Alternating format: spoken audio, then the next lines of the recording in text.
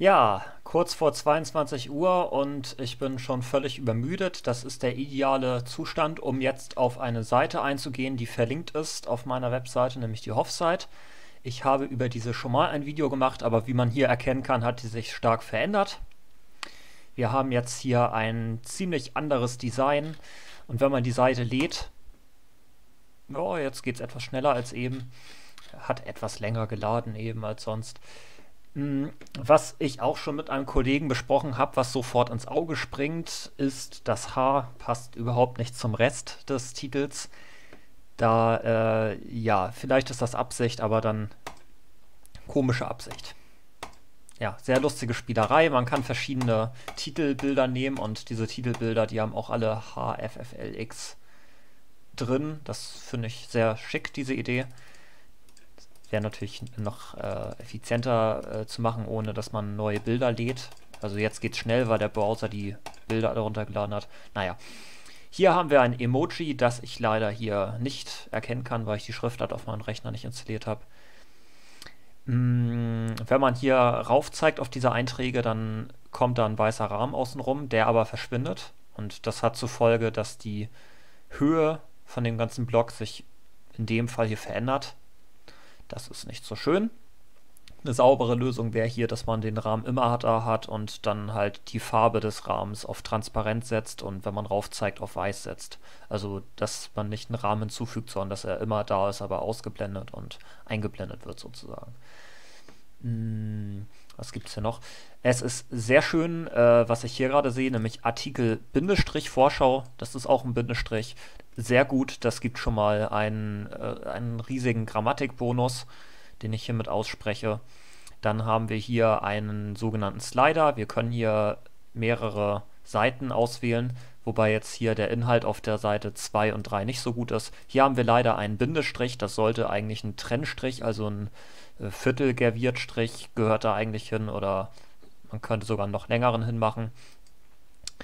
Ähm, ja, das ist nicht so schön und ja, das, das Bild sieht etwas nett aus. Ich weiß es nicht, ob das ein Bild ist, das ähm, aus dem Internet genommen wurde oder ob das ein eigenes Bild ist. Es sieht jetzt so aus, als wenn das ein Bild von jemand anderem ist. Dann wäre natürlich eine Bildquelle dafür gut, aber ist nicht so wichtig. Man kann es ja irgendwie herausfinden durch irgendwelche Tricks. Hier haben wir sogenannte Bildschirmschoner. Bin ich mal gespannt, was das ist. Ich gehe jetzt mal davon aus, dass wir hier auf dieser Seite Ach, das heißt jetzt gefährliche Augen. Das ist sehr schön. Ich gehe jetzt mal davon aus, dass wir jetzt hier ein paar Animationen haben. Ich finde das richtig toll, die Idee hier.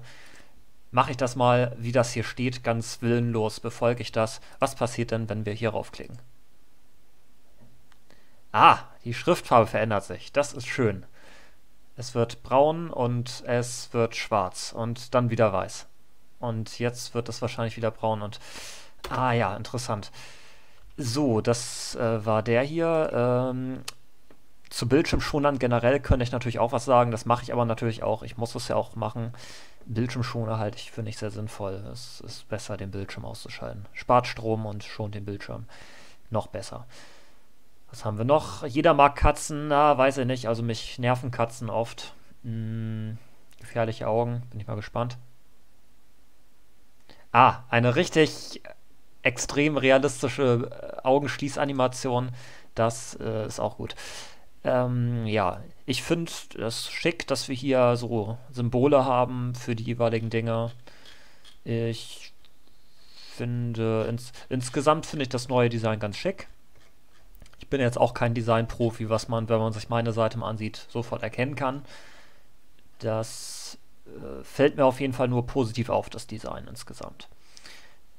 Hier haben wir ein Symbol, wo der Text rechts daneben ist. Das sieht mir nach einem Fehler aus. Hm. Hier so diese Sektionsüberschriften finde ich gelungen, dass wir das hier so an der Seite haben. Ja, kann man machen. Jugend forscht, Bindestrich, Projekt, Bindestrich. Warum ist da ein Bindestrich hinten dran? Hier ist einer zu viel. Also ich finde das ja schön, wenn man Bindestrich setzt aber in dem Fall sieht mir das danach aus, dass hier einer zu viel ist. Projektthema noch nicht bekannt. Kommata-Setzungsplakat. Hier wäre ein S sehr schön gewesen. Mm, und ein Bindestrich-Setzungsplakat könnte man auch machen, aber es äh, ist vielleicht gar nicht notwendig. Mm, ein Pflanzenprojekt, äh, wir gedenken. Ja, finde ich auch gut, dass es hier verschiedene Kategorien gibt, die noch kommen. Ähm, man könnte jetzt natürlich einwerfen, dass man mal vielleicht mehr machen und weniger ankündigen soll. aber ja, dann äh, sonst sieht ja meine Seite so langweilig aus wie meine. Wenn man nur macht und nicht ankündigt. Mm. Hier könnte man auch wieder einen längeren Strich hinsetzen. Was heißt könnte, müsste man. Mm, natürlich leicht verständlich und nicht cringe. Ja, ja, finde ich gut. Was ist denn das? Ah, ja, den Inhalt finde ich schon mal sehr gut. Ich finde auch die Idee gut, dass man hier so ein, so ein Titelbild hat, auch weil beim Thema Klima hat man hier so Prozentzahlen als Hintergrund oben. Wenn man auf zurückdrückt, geht, wird man zu der Seite zurückgebracht. Ah ja, das ist jetzt eine praktische Funktion, dass man auf den Zurück-Button drückt. Noch schöner wäre es natürlich, wenn man erkennt, ob man wirklich äh, nicht einen neuen Tab geöffnet hat, wie ich eben, aber das ist nicht so schlimm. Ein Jugendforschprojekt, das ich schon kenne. Aha, so, so. Wir haben hier Bilder, virtuelle Räume mit virtuellen Schränken. Richtig schön, richtig schön. Sehr toll. Ich finde auch den Screenshot hier von dem Gerät sehr, sehr schön. Also ein Ubuntu-Screenshot, da hat jemand ganze Arbeit geleistet. Den Screenshot da vorne finde ich nicht gut, weil das Windows ist, aber ja, vielleicht ist das irgendein Programm, was man unbedingt braucht, was angeblich unter Linux nicht so gut läuft. Wer weiß. Sehr schön. Sehr schönes Foto. Ja, sehr unschöner Bindestrich wieder hier. Das ist auch ein... Äh, das ist auch ein Bindestrich, der ist auch zu kurz. Ah, ja, ich, ich sehe gerade am Titel, hier können wir wieder zurückgehen, denke ich mal, wenn man darauf drückt. Achso, da sind wir schon. Irgendwas soll das hier sein. Das ist vermutlich ein Ballon oder so. Irgendwas in der Art. Naja, ich muss mir ja nicht alles angucken. Weitere Profile, ah ja, hier kann man dann auf GitHub sich das angucken, was der Herr oder die Dame oder guckt man doch direkt mal nach. Ich weiß es ja gar nicht. Ich kenne ja auch diesen Menschen überhaupt nicht. Mal sehen, haben wir irgendwo Geschlecht? Das ist nämlich jetzt wichtig für die Sprache. In der deutschen Sprache braucht man das nämlich. Hm. Hier vielleicht? Nee. Hm.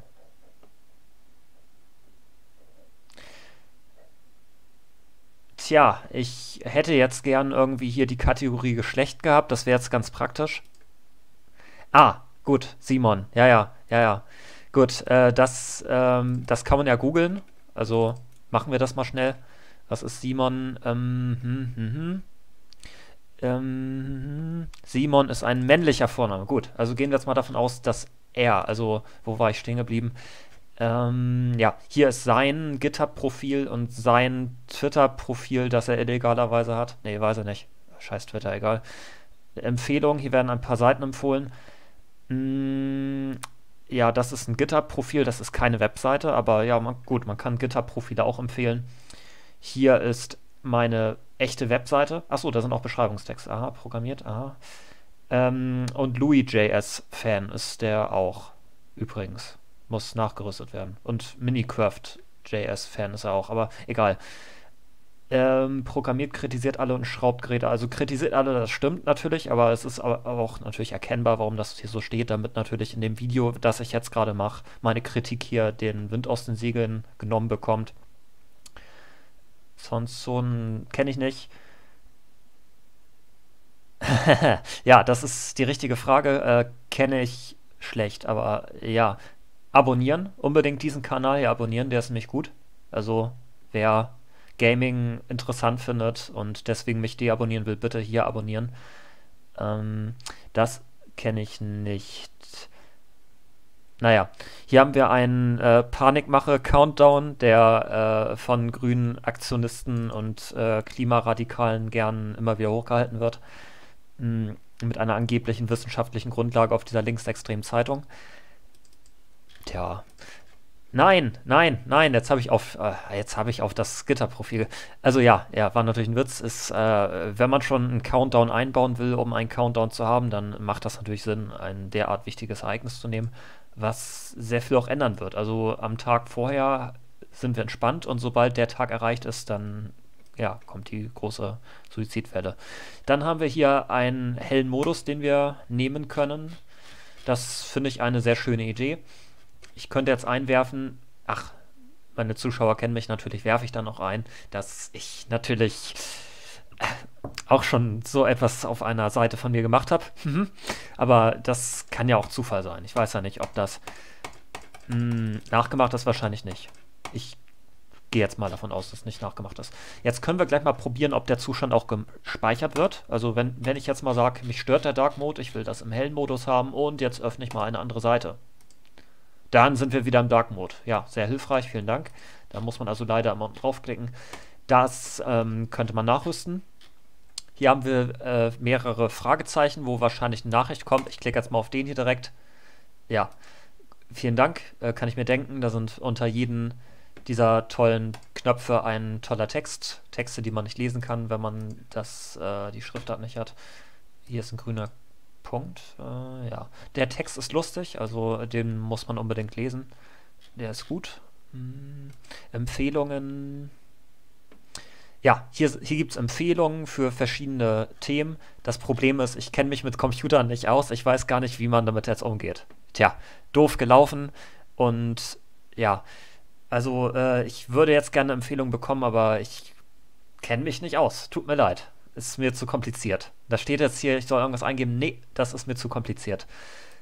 Nee, kann ich nicht. Sorry. Gut, es gibt also keine Empfehlung für uns. Hm, Desinteressen, was gibt es hier für, für Kategorien, die man sich direkt angucken kann? Genau, Sprachen ist wichtig. Latein spricht er, das ist sehr gut. Das ist eine gute Sprache, die man können muss. Und, ah ja, genau, Schweigen spricht er auch, ist auch eine sehr wichtige Sprache, die man können muss. Äh, ja. Hm. Das ist eine Lüge, weil nämlich ich aus guter Quelle, also von der NSA, erfahren habe, dass dieser Mensch das Spiel City Skylines ab und zu mal sich angeguckt hat.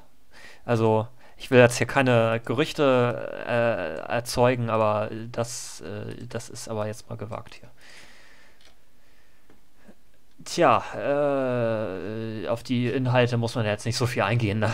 Das ist ja jetzt äh, auch nicht so wichtig. Muss ich ja nicht alles rezensieren. Hm, Gibt es hier so politische Einstellungen und sowas? Hm, hm, irgendwie nicht. Also hier wird das Religion und Glaube genannt.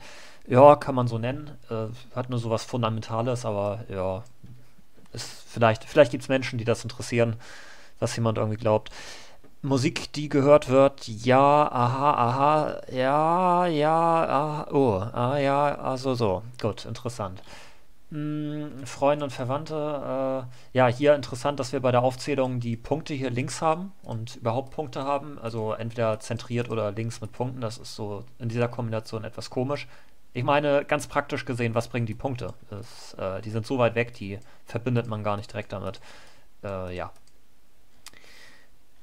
Mm, dann haben wir eine Freundesliste, die aber eigentlich eine Freundeskarte ist. Also korrigiert mich bitte in den Kommentaren, wenn ich falsch liege, aber eine Liste ist für mich etwas Eindimensionales und nicht etwas Zweidimensionales.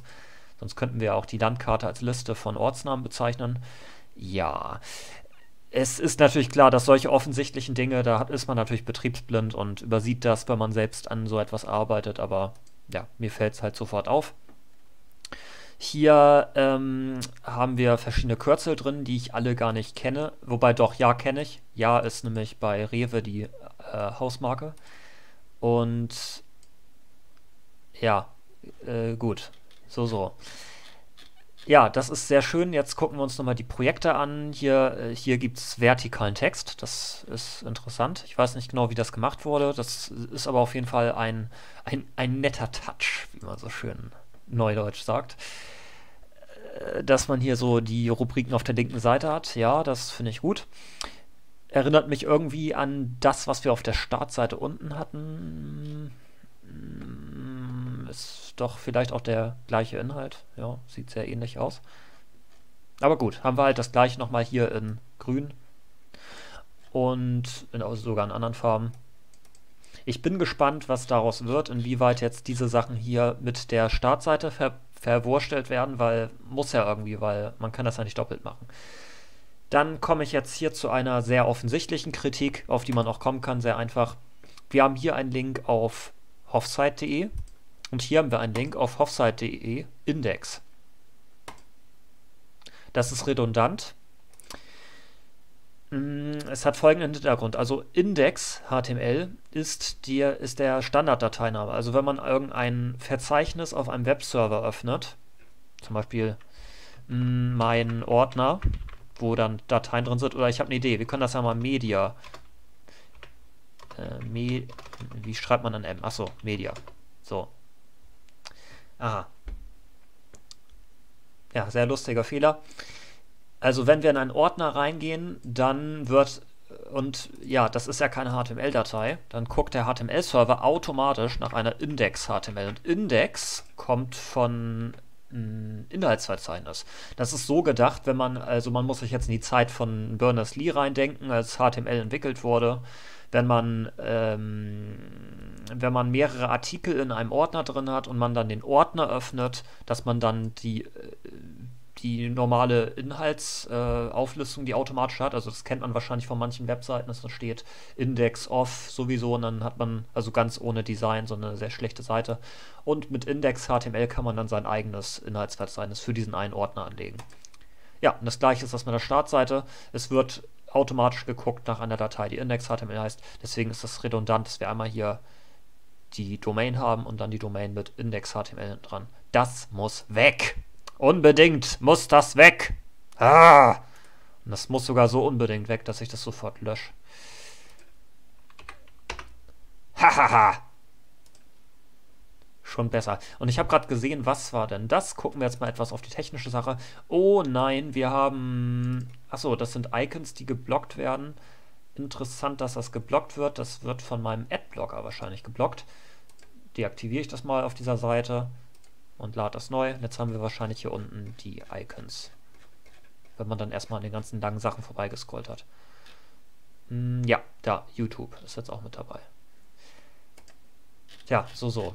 Jetzt kann ich auch Werbeanzeigen in Zukunft hier sehen. Ach ja, die beiden Symbole waren das, die auch noch geblockt wurden. Haben wir denn noch irgendwelche anderen? Ja gut, ich kann mir jetzt das hier noch angucken und gucke mir dann den Quelltext direkt mal an. So, äh, ich bin dann Spielfelder. Wobei, Moment. Netter Versuch, sehr netter Versuch. Jetzt muss ich äh, leider enttäuschen in einer Sache, nämlich normalerweise schreibt man Benutzername at Hostname und hier ist das vertauscht. Das ist nämlich der Benutzername und das ist der Host. Also muss andersrum. Muss. Ja, dann frage ich mich, warum wir einen Bindestrich äh, vor dem Dollar haben. Hm. Dann frage ich mich, warum wir überhaupt hier einen Dollar. Achso, na gut, das soll vermutlich so Bash-artig sein, ne? Ähm, hier haben wir ein Textfeld, wo wir Befehle eingeben können. Was passiert denn, wenn wir gar nichts eingeben? Error, aha. Was passiert, wenn wir ein Leerzeichen eingeben? Was passiert, wenn wir ein Null eingeben? Hm, so, so. Immer nur Error, Error, Error. Hm. Was passiert, wenn wir Tippe hier Ausrufezeichen eingeben? Error, natürlich. Ah ja, gut, das ist mit Placeholder gemacht. Das ist schon mal gut. Da hat jemand etwas mitgedacht. Ich wollte mir jetzt den Quelltext ansehen von der Seite. So, äh, irgendwo müssen wir doch hier ein JavaScript-Dingens haben. Hm, hm, hm.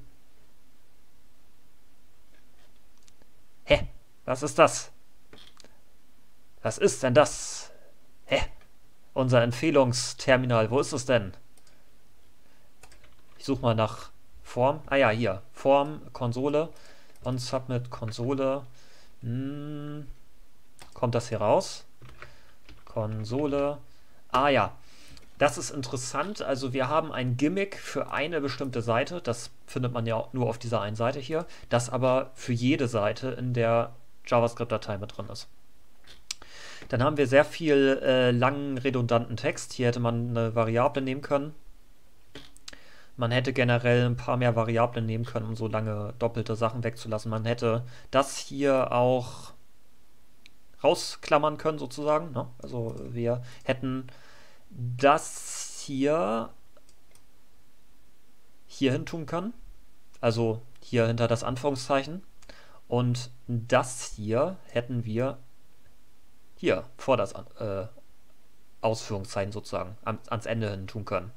Und dann hätten wir hier leeren Text 2, 3 und schon wäre die Datei viel kleiner. Zumindest bei solchen Sachen. Aha, aha. Ich bin jetzt mal gespannt, wo haben wir hier die. Ah ja, hier, da, da. Das sind, genau, das ist der Befehl. Also es wird abgefragt, welchen Befehl man eingegeben hat und dann werden je nach Befehl bestimmte Dinge getan und Sachen eingeblendet. Praktisch. Das erinnert mich etwas an. Egal, ja, ist natürlich klar, dass ich sowas auch gemacht habe. Machen ja viele. Ja, dann haben wir eine Funktion Rain, dass es regnet, die ist mal angefangen worden, nicht schlecht. Auch diesen Kommentar, äh, der ist sehr wichtig, ja. Mhm, mhm, so, so, ja. Hier ist der Countdown unten. Ja, das ist äh, ziemlich lang. Ich frage mich, warum man hier unten diese Funktion aufruft und hier schreibt und nicht... Äh ah, ja, ja, doch, doch, ist klar. Weil das asynchrone Funktionen sind. Also die, mh, mm, die werden parallel ausgeführt. Also Load Navbar, Load Footer, die werden gleichzeitig ausgeführt und dieses Fetch, also die Abfrage, läuft parallel. Ja, äh, was mir äh, nur auffiel eben äh, bei diesem Code direkt mit diesem Footer und Header, man sieht es, wenn ich jetzt hier irgendwo raufklicke, es, äh, die Performance ist nicht so toll. Also ja, es lädt innerhalb von einer Sekunde, was natürlich an meinem super tollen, schnellen Rechner liegt, mit diesem super tollen, schnellen Prozessor und so weiter. Aber es wird halt jedes Mal dieser Request wahrscheinlich gemacht mit diesem Header und Footer äh, Template, nennt man das in der Sprache. Jetzt gucken wir mal, was wird alles geladen. Oh, oh, oh, oh, oh, sehr viele Dateien. Aber jetzt kann man ja sagen, na gut, die meisten Dateien sind ja gecached. Also die werden nicht nochmal runtergeladen neu, hoffentlich. Und deswegen gucken wir mal. Genau, wir haben tatsächlich eine einzige Datei, eine einzige Datei, die, ähm, äh, die nicht abgefragt wurde. Menü 1. Und der ganze Rest, der wurde nicht neu runtergeladen. Also wir sehen hier das 304 und 308 und so weiter. Das heißt, dass diese Dateien nicht verändert wurden. Also der Browser, der Browser hat die Datei angefragt und dann hat der Server zurückgeschickt, die Datei hat sich nicht verändert und dann hat der Browser gesagt, na gut, dann benutze ich eben die Datei aus dem Cache. Das heißt dieser Status. Mhm, mhm, mhm. So, so. Also gut, man äh, muss ja zur Verteidigung der Hochzeit und deren Entwicklerteam, das sicherlich sehr groß ist, äh, sagen, dass diese beiden Dateien nicht jedes Mal runtergeladen werden, sondern alles, was lediglich passiert, das sieht man hier rechts, ist, dass der Browser nachfragt, ob die Datei sich verändert hat. Hier kann ich dann auch sehr schön einen Tipp geben, wie man die Ladezeit deutlich verbessern kann. Also man sieht hier als erstes wird die HTML-Datei geladen und nachdem die HTML-Datei geladen wurde, Erst dann werden diese vier Requests gemacht, äh, diese fünf Requests meine ich, diese fünf Anfragen, das sind die fünf Ressourcen, die in dieser HTML-Datei verlinkt sind. Und in einer von denen hier werden dann diese hier referenziert. Und in einen von den vier wird dann eine von den beiden, äh, also die beiden referenziert und so weiter und so fort. Also man hätte das vermutlich besser machen können, indem man irgendwo diese Preload oder Prefetch, hm, wie heißt das? Ich meine, das war Preload. Text benutzt. Also für große Dateien, die später angefragt werden, dass die dann sofort in der HTML-Datei schon wenigstens schon mal vorgeladen werden, auch wenn sie woanders verwendet werden. Naja, gut. Ja, man kann äh, wahrscheinlich stundenlang drüber reden. Das war jedenfalls mein sogenanntes Review hierzu und ich finde die Seite gut. Ich möchte nicht, dass das zu negativ wirkt, mein Review. Ich finde, dass die Seite ambitionierter als meine ist, vom Design her. Das muss man auch hervorheben. Ich finde, dass die Seite ziemlich intuitiv ist, also ziemlich bunt auch und das ist auch wieder Geschmackssache, aber ja, man kann damit leben. Eigentlich. Also ja, so. Das war das Video und ja, besucht diese schöne Seite. Abonniert diesen schönen YouTube-Kanal, falls es ihn überhaupt noch gibt. Äh, vielleicht kommen dann irgendwann auch Inhalte. Und ja, hier ist ein GitHub-Profil, da kann man folgen, falls man jetzt interessiert ist an Entwicklung. Vielleicht will dieser Mensch, der ja verschiedene Projekte hat, irgendwann auch noch ein Programmierprojekt machen auf GitHub oder so. Das wäre dann schön. Das könnte man dann da auch sehen. und tschüss.